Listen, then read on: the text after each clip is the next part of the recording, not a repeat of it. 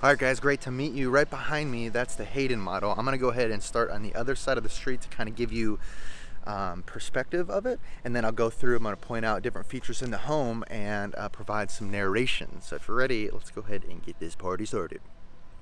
All right, here is the front of the house. So it's the Hayden model, five bedrooms with a potential flex room, uh, anywhere between, I think it was uh, two and four bathrooms and right around 2,600 square feet. So one of my favorite things about uh, the way that D.R. Horton is doing these two-story constructions is it's not only block on the on the primary uh, level, but it's block on block. So that's pretty rare to find. Even in higher end uh, builders like in Viera, they don't do the block on block, and that is significant because for you, this home would be con considered a entirely block home. So your insurance is going to be much less than it would be for a frame home. A lot of times, the two stories, the up, upstairs is framed and the bottom is block, and you can start seeing stucco lines and tons of problems. But we're not talking about that because that doesn't exist here. So really cool, for, you know, front of the house. Um, it's a big one. You'll notice on all the windows, you'll start seeing these studs that stick out. That's all for your hurricane um, shutters, and that is a requirement since it's um, newer construction. All glazed openings or, or windows have to have hurricane uh, protection, whether it's an impact window or shutters like this house. So I'm gonna go ahead, and you even see up above the door, like even that piece of glass, that has a shutter. So go ahead and walk in and point out some things. So this is when you first walk in, what you're greeted with. This is a little flex space over here. Um, a lot of times I see people set this up as a sitting area. Could be an office, piano, music room, I don't know. Anything you want. Uh, something that DR Horton's really proud about. I don't think this is connected, but this basically controls the whole house. So everything from your locks to the thermostat, it's all just the smart features here. Pretty sure you got a pamphlet on that. So walking through, you have the you know more open floor plan out of all the models. Um, I like the balance here. It works really well. It's a large kitchen. You have your dining area here, and I will get you another perspective from the other side so you can kind of see, and then your pantry over there. But good size island, plenty of upper cabinetry and some lowers. And here's a perspective from this corner. So a lot of people will like that open floor plan concept because if you're in here cooking um, or maybe you're kind of hanging around and you got maybe the television on that wall and so the kind of family dynamic is also around here. You know this is even the bar height so you could put some stools here and still kind of hang out um, at the bar. And then you know it's, it's a really good kitchen good flow to it. And then you have a nice pantry.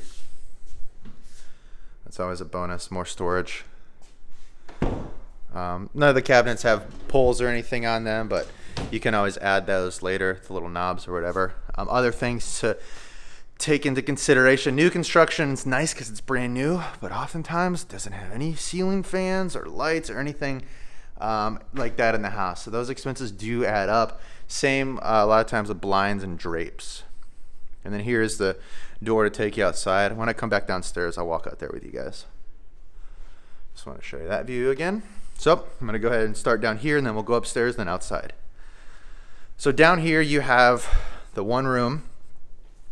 Functions really well as it could be a guest room, it could be an office, it could be someone's bedroom. It could be anything you want. It's nice to have at least one room down here and then that full um, bath.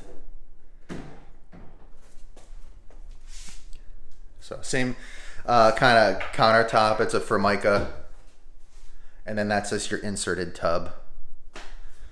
And then this door is going to take you to the garage. This right here, more storage. You'll notice this house has a lot of storage. So that's just under the stairs storage. Um, again, can't have enough of that. It's a beautiful thing. Here's your two car garage. There's not much in here because the air handler is upstairs. You got the water heater down here.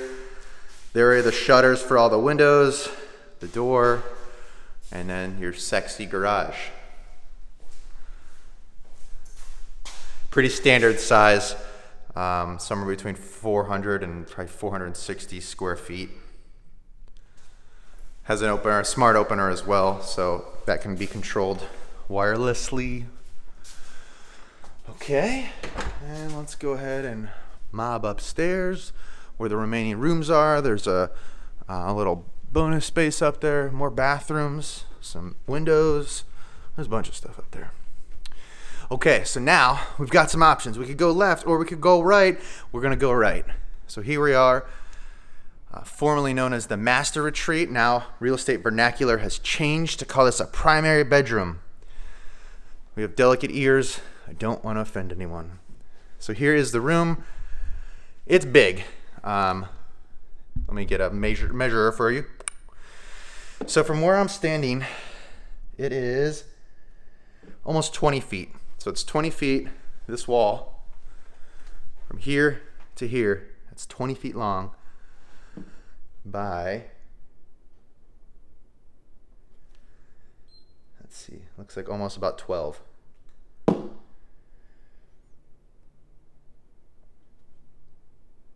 Yeah, actually 13. So really good sized room. So 13 by 20. I mean, it's it's a monster room. Walking into your bathroom, you've got the double sink, your shower, and then the closet. So it's a little bit smaller. This is the only closet in here. I'm just kidding. Look at this. This is nice. Good sized closet. So you do have two up in here. Again, for delicate ears, I don't call them his and hers anymore. I call them gender neutral closets. It's kind of a joke, but. All right, moving along. So that is the primary. Right off the primary, laundry space. So where the magic happens. You've got another bedroom here. This is one of the smaller rooms. It's really nice views from, from this room.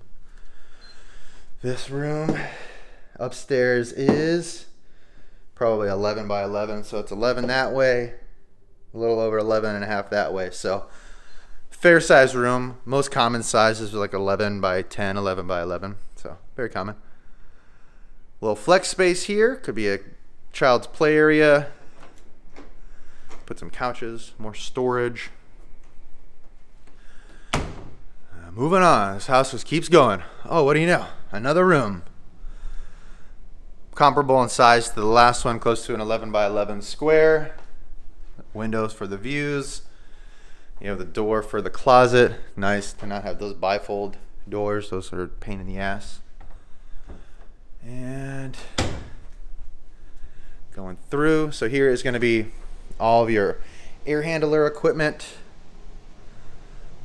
And then you have this bathroom full bathroom, double sink, more storage, and then separate location for the tub and toilet. And making our way to a, another storage linen closet and then the last bedroom. This one is a little bit larger it appears or the largest one up here. I feel like this is closer to 12 feet here. Yep, so 12 feet that way and 11 this way. So this is the biggest guest room upstairs. Same consistency with the door for the closet. Those are your standard size closets. And gonna go ahead and move along. Make our way outside. Trying to get some of these lights off while we're up here and then show you guys the backyard, some of the views. But you'll notice those are all the blinking plates for where you could put a fan or a light. So very, very common for new construction to not include those. So just things to consider. And again, this glorious master. This is a really good size.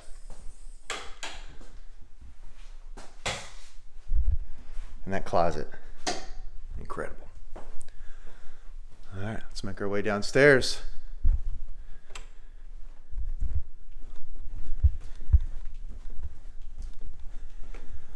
Okay, yeah, another view of the kitchen and into the living.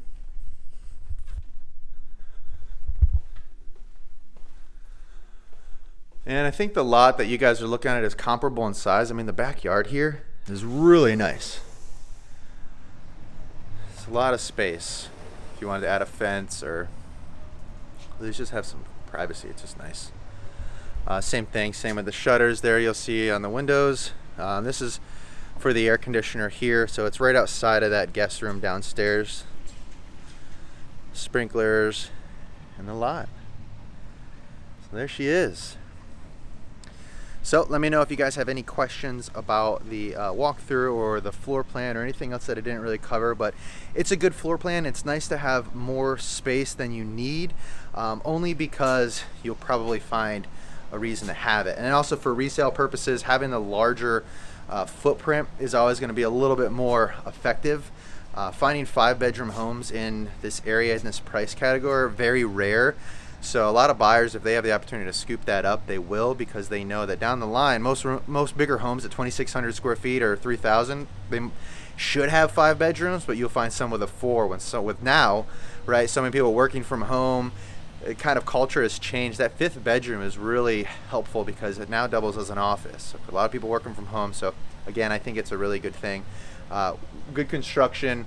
There are some features inside, you know, down the line if you wanted to update. I've had clients that buy homes in here and then they add granite into the kitchen, into the bathroom slowly over time.